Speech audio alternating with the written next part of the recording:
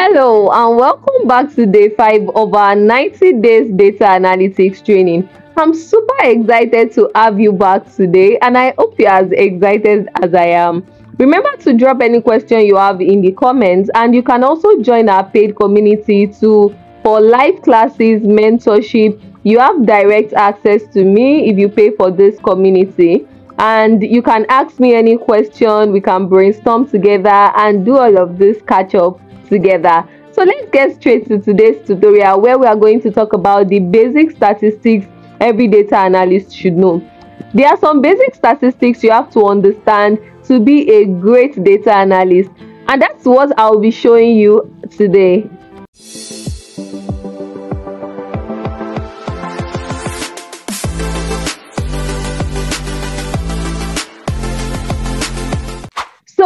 So let's talk about why it is important to learn these statistics as a data analyst. So every data tells a story, we already know that, and statistics will help us hear it clearly, right? And also, this concept will help us summarize, explain, and compare data sets. We'll be using some of these basic statistics in the software tools we'll be working with like Excel, SQL, or any other analysis we work with. The first basic statistics we'll talk about is the mean, which is also the average, right? Talking about the mean, the mean is when you sum all the values and you divide it and you divide it by the number of values. Let me not speak too much grammar. Let me show you a practical aspect of this. In this spreadsheet, in this first column, you can see that I have three numbers, 5, 20, and 40. I said mean is when you calculate the total of everything divided by the number of times they appear. So for example, mean would be 5 plus 20 plus 40, which would be 65. 65 divided by how many numbers do we have? 1, 2, 3. So that would be 65 divided by 3. That is what mean would do.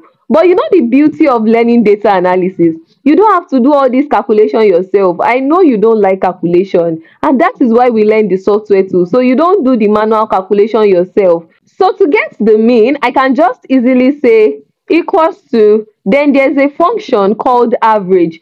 Don't worry, we have not gotten to the practical aspects yet. I'm just showing you what you can do, an example to explain the mean. So I can easily say equals to average and I'll just highlight everything here and I'll press enter. Can you see it automatically gave us the mean value. So instead of me saying 5 plus 20 plus 40 divided by 1, 2, 3, that's the answer. And divided by 3, I don't have to do all of that. I can easily just call for a function and it's going to give me the mean value that I'm looking for. Is that not amazing?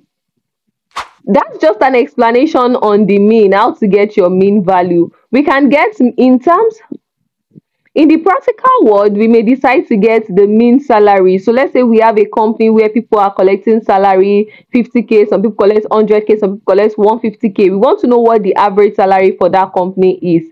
You can also use this approach to get the average salary for the company. So let's move to the next basic statistics that we need to know as a data analyst the second one is the median. So median is like the middle value when data is arranged in order, right? And it is used when your data has outliers or extreme value.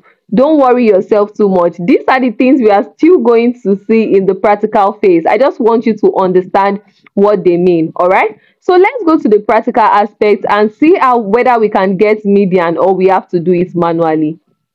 So let's try to get the median now. With just one function, you can just do equals to and then you call for the median function.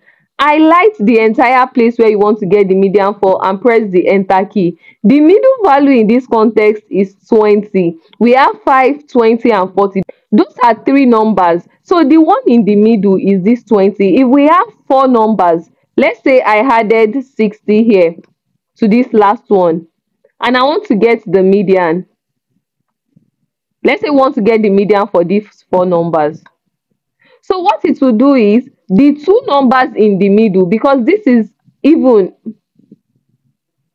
So what's gonna happen is it's gonna take these two numbers 20 plus 40 and then divide it by 2 That's when we have four numbers. But when we have like three numbers, like five numbers, it's just going to take the one at the middle. So now 20 plus 40 is 60, divided by 2 is 30. So with just one function, we can do all of these things. That's what makes it beautiful. Moving on, we have the mode. The mode represents the value that appears most frequently. So for example, let's say we have 5, 5, 2, 3. You know, 5 is appearing twice, 2 is appearing once, 3 is appearing once. I don't want to talk too much. Let's go to the practical aspect. Okay, so let's say we have 5, 5, 2, 3.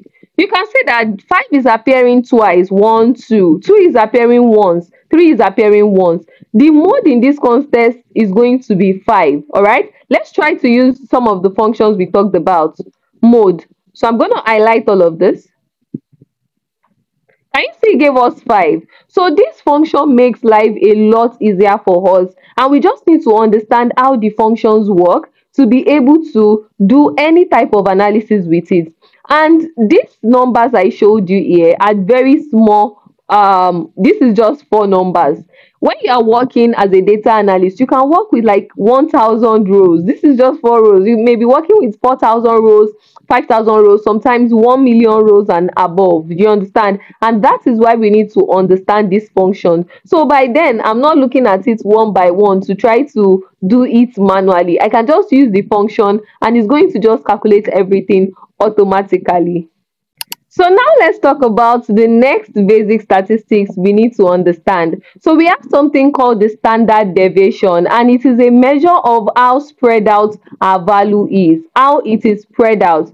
Okay, let's take for instance, um, we have three numbers. We have 20, 21 and 22. You know that these three numbers are close to each other. 20 the difference between 20 and 21 is just one. The difference between 21 and 22 is also one. You understand? So these numbers are close together. Let's now say another we have another number. We have 20 500 and 1000 you know that these numbers the difference between them is very large because 20 500 that's like 480 difference. And 500 to 1000 is like 500 difference. So that's a lot of distance between them.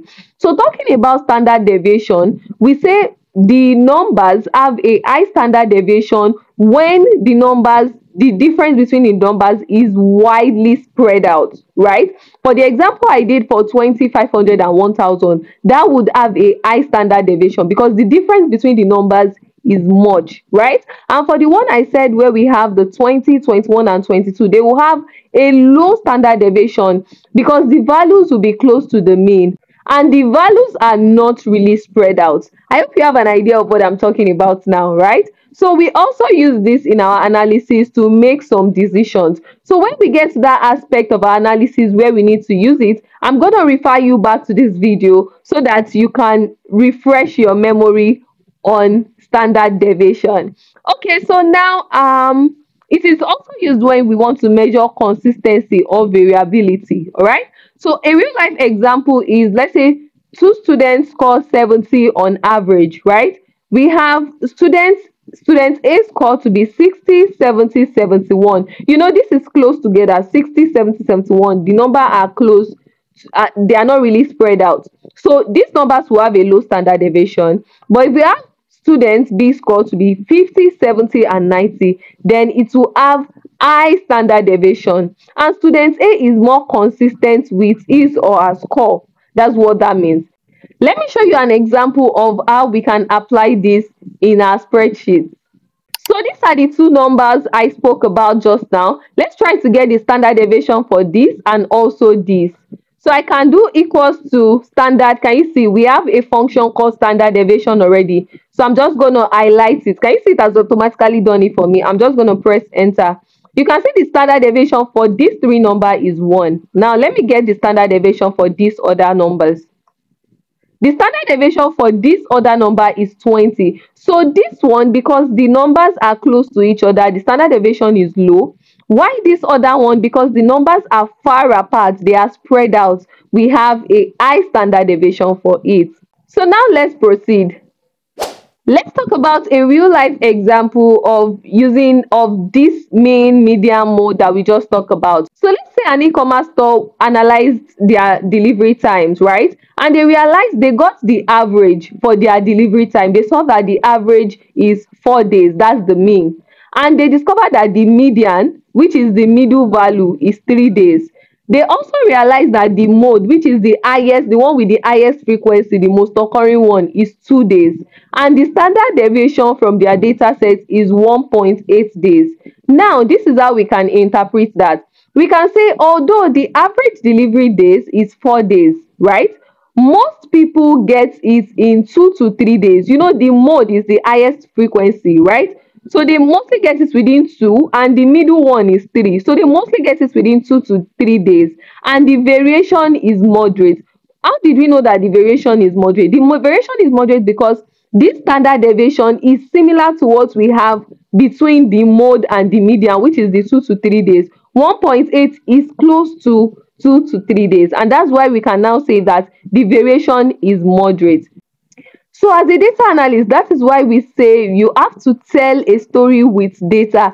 You don't just tell your stakeholder that, oh, the mean delivery time is four days, the median is three days, the mode is. No, you don't do that. What you do is give them, tell a story with the data. If you say this, your stakeholder will understand it better than just telling them mean. They're like, what is mean? What is median? I'm not a technical person. I hope you understand this. So let's proceed. Now we are done with some basic statistics we need to understand as a beginner data analyst.